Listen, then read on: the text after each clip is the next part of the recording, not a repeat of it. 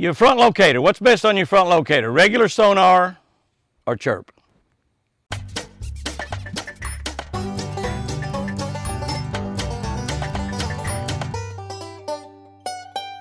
Good morning, guys and girls. Good morning. July 21, reading from a Catch a Better Life book. Uh, this book's available at Bass Pro Shop, Cabela's, Barnes & Noble, Hobby Lobby, Amazon, jimmyhouston.com. July 21, we're uh, looking at Psalm 39.1, and it says, I will guard my ways lest I sin with my tongue. Yeah, lest I sin with my tongue. At the 2019 FLW tournament on Lake Toho and Kissimmee, Chris and I had a fairly tough practice. Three days we practiced, pretty tough. Only one small area on Cypress Lake produced quite a few fish. We had one little area that we caught several. If many found that area, it certainly would not hold up for the full event. It just gonna, very many people, I had to share that fish, those fish with very many people, it just wasn't gonna work. We had uh, observers, so we didn't have to worry about a co-angler catching fish. To my surprise and to my great joy, I was the only one fishing that area. And I won money, I won over $10,000 on a combination of sinking worms, spinner baits, and flipping.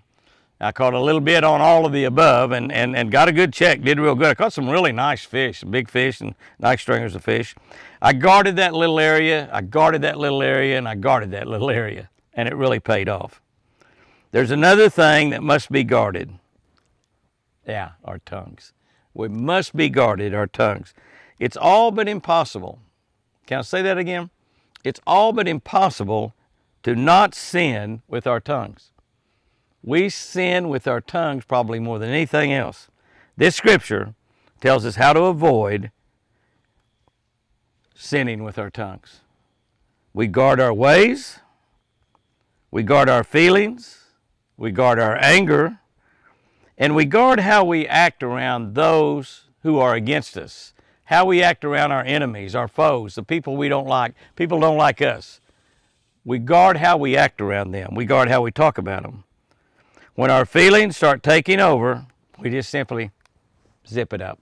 We zip it up. We put a muzzle on our mouths. Remember, words are like bullets. Once fired, we can't take them back. Once fired, we can't take them back.